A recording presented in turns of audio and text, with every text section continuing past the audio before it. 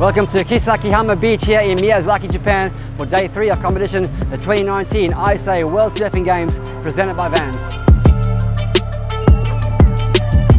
The pressure is mounting on day three as Olympic qualification scenarios are now in play for the women from the continents of Africa, Europe, Asia and Oceania.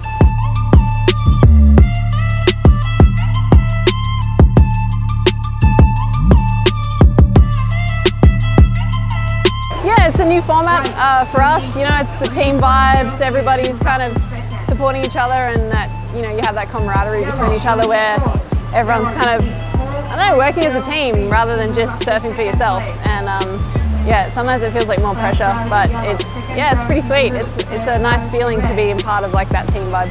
Do this little right hand wedge, beautiful front side jam to get things going. Up and over that section, solid surfing. Massive turn by Carissa Moore.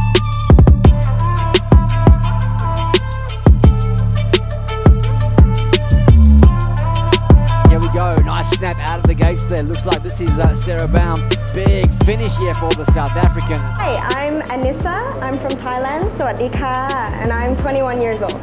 I mean, it's the first time that Thailand has ever come to the ISA Games.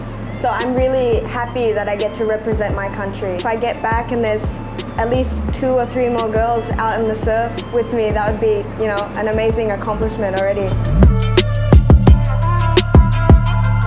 Up and riding here, driving off the bottom. Beautiful turn. opening turn right there. One move. Oh my gosh, what a critical drop right into the barrel. Courtney getting a nice cover up there. This is the first barrel we've seen of the entire event. Join us tomorrow for more action here from the world's best women surfing. You can watch it live on isasurf.org.